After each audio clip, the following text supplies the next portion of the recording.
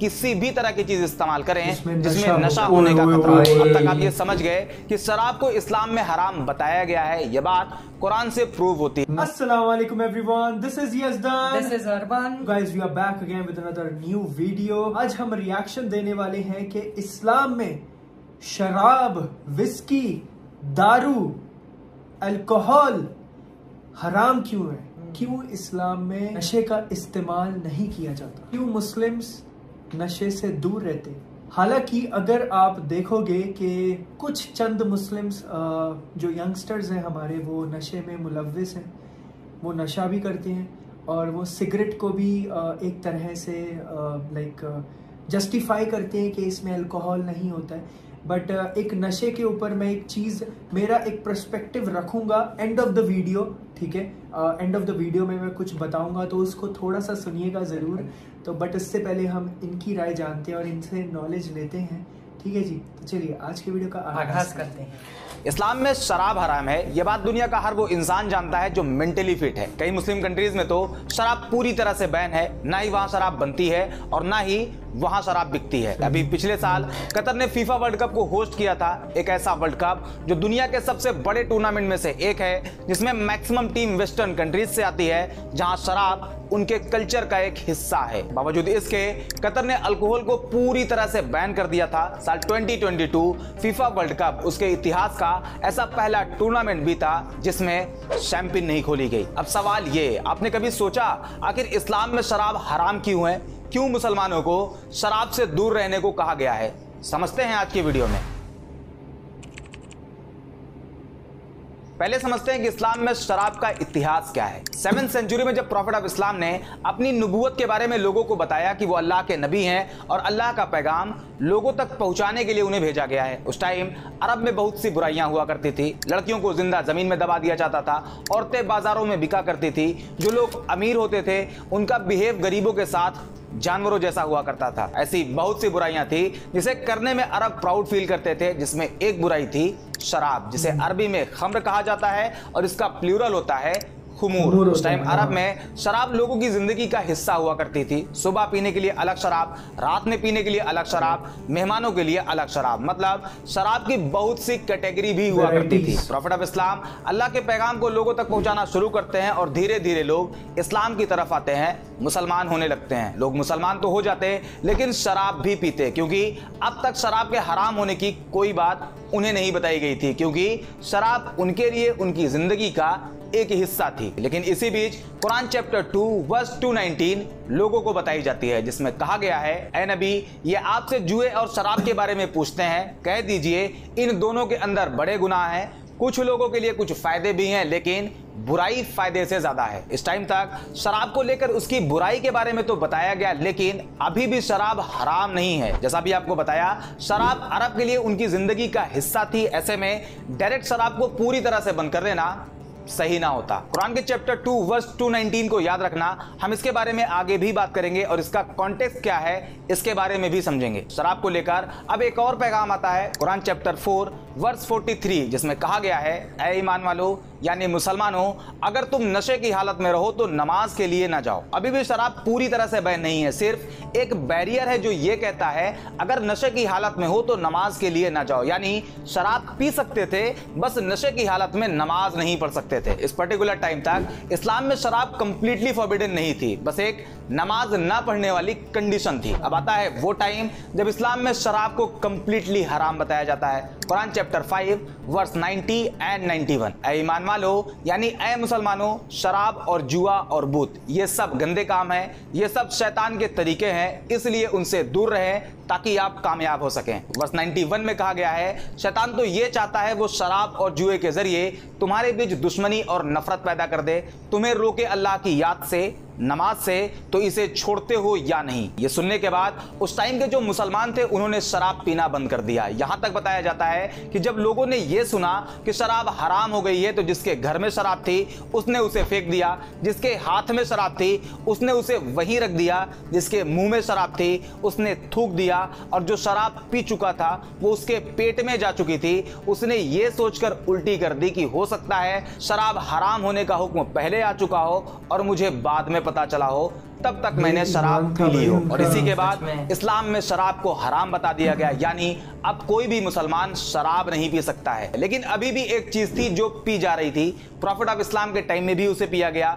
First caliph Abu बकर के time पर भी उसे पिया गया। लेकिन अब आता है सेकंड कैलिफ हज़रत उमर का टाइम। इस्लामिक सोल्जर्स जब जंग के लिए निकलते तो उस टाइम पानी की कमी होती थी। ऐसे में उन्हें एनर्जी मिल सके उसके लिए एक चीज़ पिलाई जाती थी जिसे अरबी में नबीद यानी तिला कहा जाता था। ये वही चीज़ है जिसे इंडियन सब कॉन्टिनेंट में ताड़ी कहते हैं जो कि ताड़ के पेड़ से निकलता है। दोनों में फ़र्क बस इतना है कि यहाँ ताड़ के पेड़ से बनाया जाता है जबकि अरब में खजूर और अंगूर से बनाया जाता था। ये जो नबीद होता है यानी ताड़ी इसकी खासियत यह है कि इसमें नशा नहीं होता लेकिन एनर्जी होती है। प्रॉब्लम यह है कि जब इसे और ज़्यादा पका दिया जाता है तो इसमें नशा आ जाता है जो कि इस्लाम में ऑलरेडी हराम है। इसी वजह से सेकंड कैलिफ हज़रत उमर ने नबीद पर भी बैन लगा दिया। वो ये नहीं चाहते थे कि मुसलमान ऐसी किसी भी तरह की चीज़ इस्तेमाल करें जिसमें नशा होने का खतरा हो। अब तक आप ये समझ गए कि शराब को इस्लाम में हराम बताया गया है। यह बात कुरान से प्रूव होती है। लेकिन सवाल हाँ। अभी भी वही है। इस्लाम में शराब को हराम बताया क्यों गया है? तो इसका जवाब बहुत आसान है। इस्लाम में कहा गया है शराब सभी बुराइयों की माँ है। अब इसका क्या मतलब है? आपको एक चीज़ याद रखने के लिए कहा था कुरान चैप्टर टू वर्स 291 जिसमें कहा गया है शराब में फ़ायदे से ज़्यादा नुकसान नुकसान है। है। कैसे? आइए समझते हैं। पहले बात करते हैं इससे होने वाले नुकसान के बारे में। नंबर वन हेल्थ इंप्लीकेशन शराब पीने की वजह से कई तरह की खतरनाक बीमारी होने का खतरा कई गुना बढ़ जाता है, जैसे कि लीवर डिज़ीज़ जिसमें फैटी लीवर एल्कोहलिक हेपेटाइटिस जैसी बीमारी कैंसर जिसमें mouth cancer liver cancer breast cancer का खतरा कार्डियोवेस्कुलर डिज़ीज़ इसमें high blood pressure stroke and other cardiovascular issues इसके अलावा brain health digestive problem immune system dysfunction mental health issues जैसी कई खतरनाक बीमारियों का खतरा। एक रिपोर्ट के अकॉर्डिंग हर साल करीब 20 लाख लोगों की मौत सिर्फ़ लीवर डिज़ीज़ की वजह से होती है। दुनिया में जब 25 लोगों की मौत होती है तो उसमें एक मौत की वजह लीवर होती है जिसका common reason hepatitis alcohol and fatty liver होता है। Number two accident Goa medical college की तरफ़ से करी गई। एक स्टडी में पता चला कि सिर्फ़ इंडिया में जो रोड एक्सीडेंट होते हैं उसमें 12.7 परसेंट डेथ सिर्फ़ एल्कोहल की वजह से होती है। इसके अलावा बर्थ डिफेक्ट्स एडिक्शन एंड सबसे खतरनाक सोसाइटल इंपैक्ट एंड क्राइम। और इसे हम दो पार्ट में डिवाइड करके समझते हैं। पहला वायलेंस दूसरा फैमिली। इश्यूज़ पहले बात वायलेंस की। अगर आप न्यूज़ देखते हो न्यूज़पेपर पढ़ते हो तो ऐसा कोई दिन नहीं बीतता जिस दिन शराब की वजह से वायलेंस की खबरें ना हो। पिछले दो से तीन दिन की कुछ अपडेट्स आपको दिखाता हूँ। अधेड़ ने शराब के नशे में लगाई फांसी। नशे में बेटे ने कर दी माँ की हत्या। एक बाप ने नशे की हालत में अपने ही बेटे को मार दिया जो कि सिर्फ़ 18 साल का था। इसके अलावा क्राइम अगेंस्ट वुमेन को लेकर एनसीआरबी का ये डेटा आपको हैरान कर सकता है। एनसीआरबी के 2015 के एक रिपोर्ट के अकॉर्डिंग वुमेन के खिलाफ होने वाले क्राइम में 85 परसेंट क्राइम शराब के नशे में होते हैं जो कि इमोशनल भी होता है फ़िज़िकल एंड सेक्सुअल भी होता है। इस तरह की एक नहीं बल्कि बहुत सी न्यूज़ रोज आती है वो भी सिर्फ़ इंडिया में। अब आप पूरी दुनिया के बारे में सोचना। दूसरे नंबर पे आता है फैमिली इशूज मैं आपको सिर्फ़ बिहार के बारे में बताऊँ तो 83 परसेंट वुमेन तब वायलेंस फेस करती हैं जब उनके हस्बैंड शराब के नशे में घर आते हैं और शराब के नशे में वो अपनी ही वाइफ के साथ कैसा बिहेव करते हैं, इसके बारे में आप ज़रूर जानते होंगे। आपके ही नज़र में कोई ना कोई ऐसा इंसान ज़रूर होगा जो शराब पीकर अपनी ही फैमिली को हैरेस करता है। एक चीज़ मैं आपको और बताऊँगा, जो हमारी सोसाइटी के लिए किसी काले धब्बे से कम नहीं। शराब को इस्लाम में हराम क्यों किया गया है, उसके कई रीजन अब तक आप देख चुके और उसी में एक रीजन और है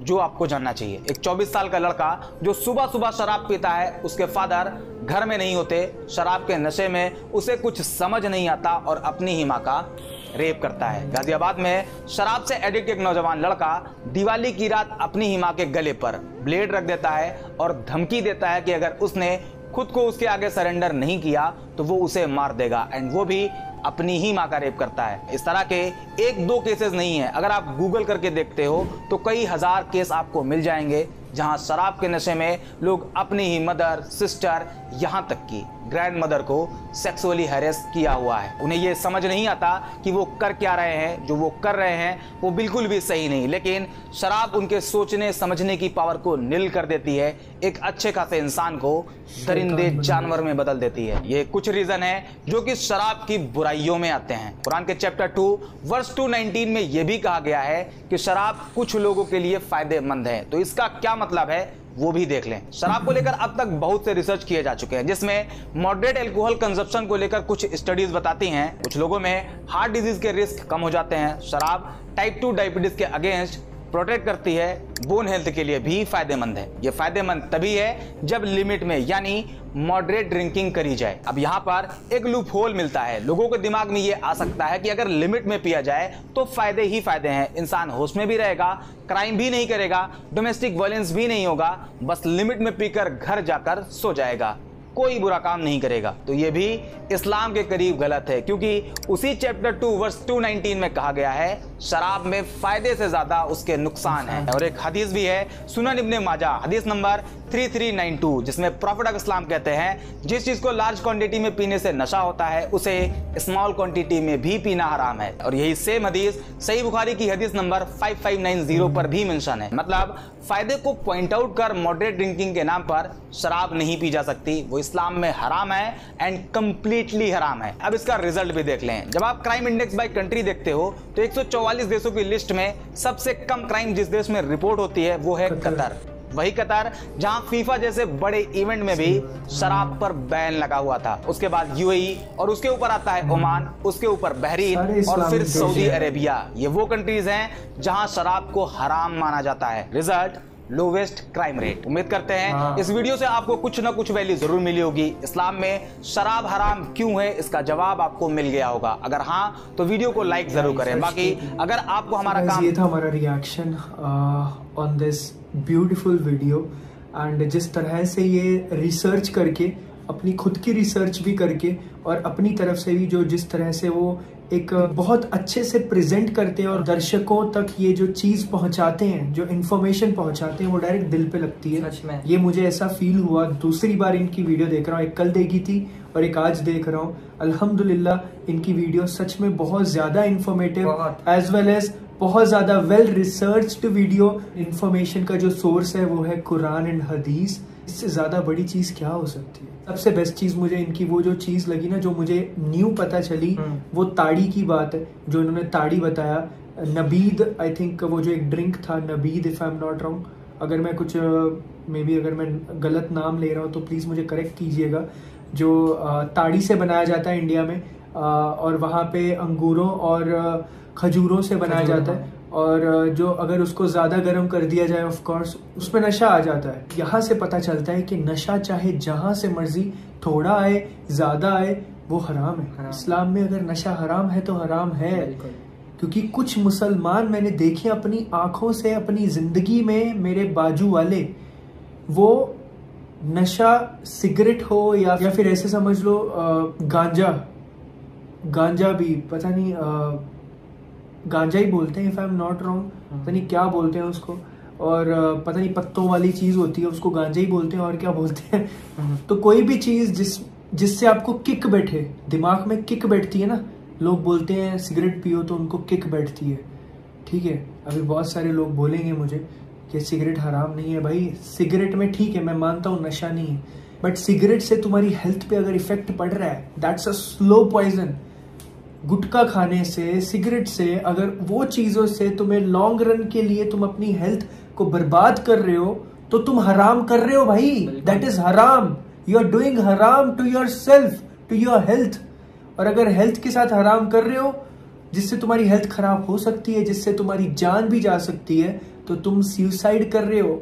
That's a slow poison right तुम अपनी हेल्थ से खेल नहीं सकते हो। ये भी हराम है। तो ये चीज़ लोग नहीं समझते हैं। ये चीज़ लोगों को समझनी चाहिए कि सिगरेट भी हराम है गुटखा भी हराम है गांजा भी हराम है कोई भी तरह का नशा या फिर कोई भी तरह की ऐसी चीज़ जो हमारी हेल्थ को नुकसान पहुँचाए वो हराम है। हराम है। उसमें कोई गुंजाइश नहीं है बोलने की कि आप वो चीज़ कर सकते हो नहीं बोल सकते आप। और ऑब्वियसली अल्कोहल तो है ही हराम। मैंने तो यहाँ तक लोगों को कहते सुना है कि वाइन वाइन पी लेना चाहिए यार वो तो अंगूरों से बनी हुई है। हेल्थ के लिए बहुत अच्छी है हार्ट के लिए। अरे भाई कुछ अच्छी नहीं है। अल्कोहल है तो है। भाई बियर पीनी चाहिए। हाँ। बियर में वो होता है वो क्या बोलते हैं उसको? अंगूर। अ, अरे बियर क्या अंगूरों से बनती? नॉन सेंस बियर उससे बनती गेहूँ से। गेहूँ। आटे से गेहूँ होता है जो। है? आटे से नहीं मतलब गेहूँ। अच्छा। इसको क्या वीट हाँ वीट से। तो उससे बनती है तो वो तो हेल्दी होता है उससे स्किन साफ़ होती है। अरे भाई नशा है तो नशा है सीधी सी बात है।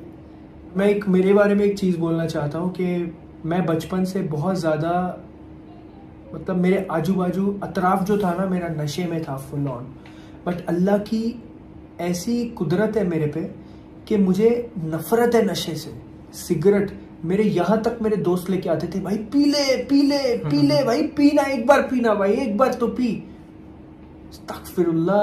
No when I was non Muslim तब भी तब की बात कर रहा हूँ मैं। हम्म। चलो मुसलमान हो गया अभी तो मुझे पता है अभी तो मैं देख देख भी नहीं सकता। ना मैं वैसे दोस्तों के साथ रह सकता हूँ जो दारू पीते सीधी सी बात है। बट भाई मेरे दोस्त मेरे को डायरेक्ट ऐसा ज़बरदस्ती करते थे भाई पी ना भाई पी तो सही भाई पी ले यार थोड़ी सी तो पी ले। भाई, बचपन से देखा था हमने। सहा है वो चीज़ को। जब तुम्हारी फैमिली में कोई इंसान को आप देखते हो ना, कि वो अल्कोहल की वजह से, या फिर कोई भी ऐसी चीज़ की वजह से तुम्हारी ज़िंदगी में बहुत सारी प्रॉब्लम्स आई हैं ना तो तुम्हें उससे ऑटोमेटिकली नफरत होने लग जाती है। तो मुझे वैसी नफरत है उससे। अभी भी है, ज़िंदगी भर रहेगी। और मरते दम तक रहेगी, और हमने उस चीज़ की तरफ़ जाना भी नहीं है ना, कभी जाएँगे इन तो आपको भी मैं कहना चाहता हूँ, अगर आप इस चीज़ के पीछे हो तो प्लीज़ उससे दूर रहिए रहिए। आज के वीडियो को यहीं पे एंड करते हैं। मिलते हैं अगले वीडियो में। जजाकल्ला खैर। फ़ी अमान